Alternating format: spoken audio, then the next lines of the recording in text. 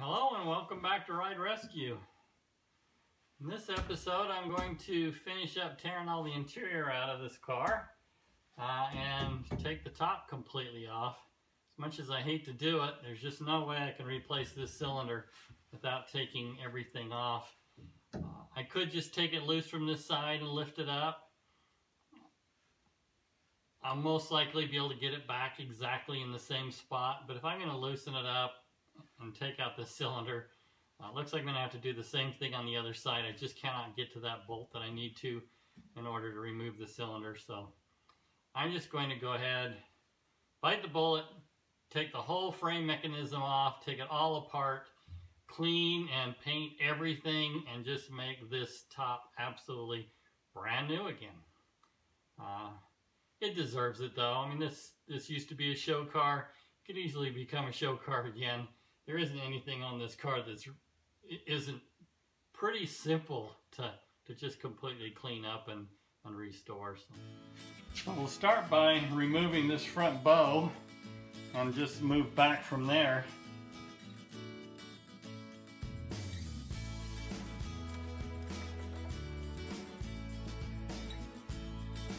Just lift out the clamping mechanism.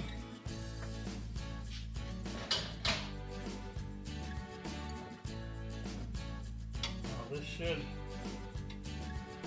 hang down on the rack. It looks like it is sitting on the front of the windshield, so that's good.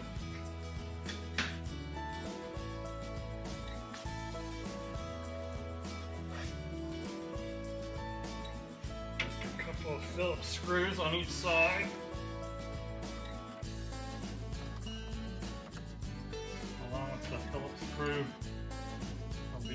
Spacer, kind of a rubber spacer. The very first Camaro I did uh, was a 67.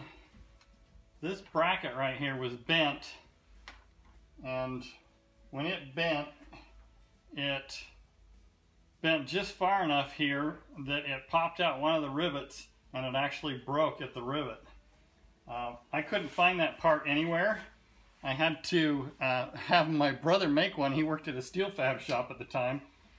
Uh, so he went ahead and, and, made the bends in it and cut it out on a pantograph burner. So it was really cool that he was able to do that. And I'm looking at this and it looks to me that it is bent and there's a pin that has a stop that that rests on this other bar. There's another bar here in the back. So there's got this curved bar and this bar in the back. That pin should be resting on that bar. So this is bent and it appears looking at the other side it is bent as well. So it is a good thing I'm taking this all apart. I do need to, to carefully bend that back where it belongs um, because this is riveted on. Um, my Buick Skylark this was all bolted together. So I was able to just take those bolts apart and put in new bushings. Hopefully these bushings are good. They, they feel really solid. There's a little bit of movement in it. Nothing to be concerned with. Um, so like I said, I'm just going to have to carefully bend that to the correct shape. Uh, nothing else here seems to be standing out as any issue. But I'll go through and, and check all these areas. Uh, there is a a rubber stop right here. That rubber stop is destroyed. Uh, it looks like it's on with a Phillips screw, so I'll have to replace that. It looks like it's destroyed on both sides. Um, it's petrified, so I'll do those as well. And like I say, just really go over everything here and make sure all the, the pivot points are in good shape, all the bushings are in good shape and then I'll clean it all up and paint it and we'll start putting it all back together.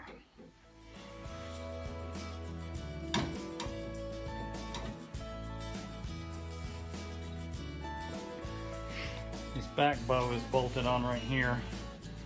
I'll have to take that apart.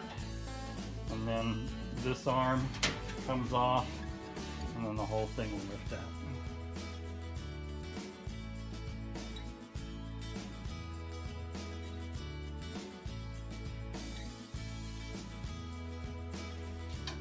Take note of, of the curve of these parts too. So that get it back on correctly. I like to put them back in the way they came apart so that you make sure to get everything lined up the way it was originally.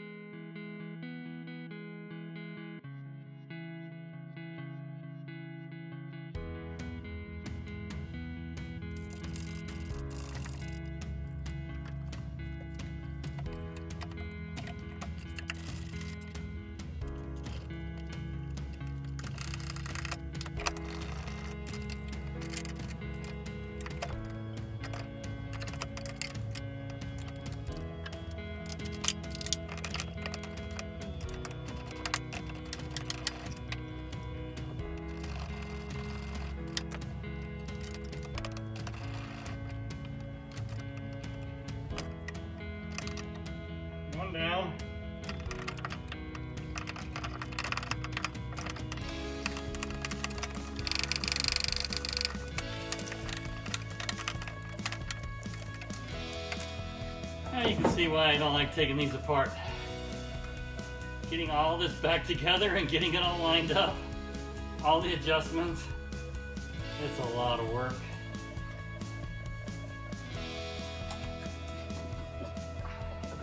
But this will be a good experience for all of us. I'll show anybody who's interested on how to do it. These parts you can't see on video, You'll just have to experience for yourself to get to that.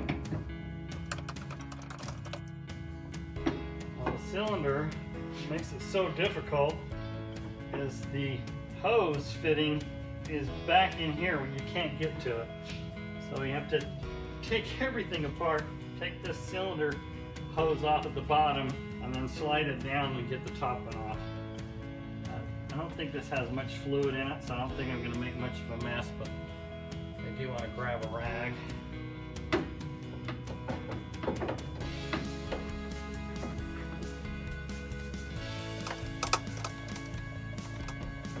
Well, looks like this is leaking on both ends.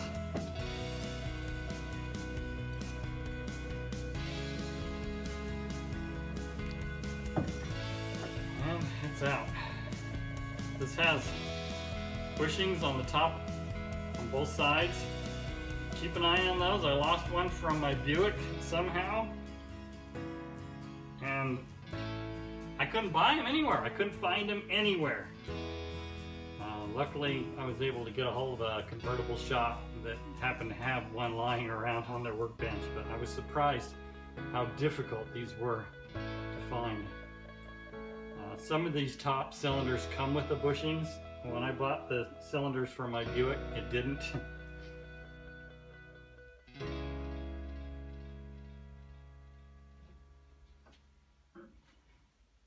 going to put this in my drip pan and press it all the way in and get this liquid out. All right, one down, one to go. Well, as much as I hated taking all this apart, it just makes the most sense. That'll be easy to clean it up too. Can clean it up and paint it. Uh, there's a couple of brackets in here that are bent well, I can straighten those out a lot easier without causing any damage uh, or more damage than that is already there. So, like I say, it's, it's a lot more work, but it, it makes sense to get it all done. So for another video, then I'll go back and, and, get all of it sanded and prepped and ready for paint and then start putting it all back together. But before I get into that, I want to tear the dash out now while all of that is out of the way. Tear out the console. So in the next video, I'll start working on that. So thanks again for watching my videos. I really appreciate it. Please give me a like if you like what I'm doing. Uh, hit the subscribe button if you haven't already. Uh, appreciate you doing anything that way that helps me out. Leave me a comment. I'd love to hear from you. Well, thanks again. Goodbye for now.